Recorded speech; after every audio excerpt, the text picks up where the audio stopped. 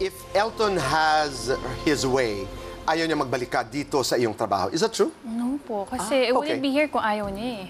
Kasi syempre may mga bagay ka i-consider yung kids, siya. Pero all out support siya. Siguro nag-mature na rin lahat.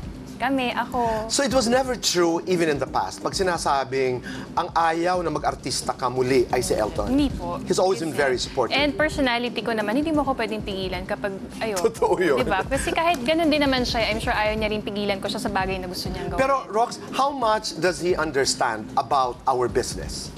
um, Naiintindihan niya? Hanggat kaya niya, of course. Kasi like ganyan, sa mga scenes, medyo may mga bagay akong kinoconsider. Ayoko namang ma-offend yung anak ko. Like, for example, sa isang eksena, because there was an incident na napanood ako na ano ko, sabi niya, Mommy, why are you hugging that man? That's not daddy. Sabi niya ganun. So, I need to explain and How all. did you explain that? Sabi ko, no, that's my job. I just pretend na I'm the wife, you know, like that. Like you, di ba, you pretend in school, ginaganon ko pa siya. Importante na naiintindihan ah, ng bata. Nasasaktan ka ba pag isinasali sa mga kwento sa Elton?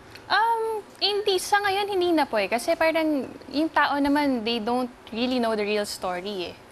Hindi naman nila alam kung ano yung nasa isip ng asawa ko. And in fact, supportive, napaka- excited. At napaka-secure ninyong Oo. dalawa. Siguro talaga kung masyado lang siya maingat, alam kong mahal lang ako na asawa ko. Yun lang yun ang masasabi ko. Walang iwanan.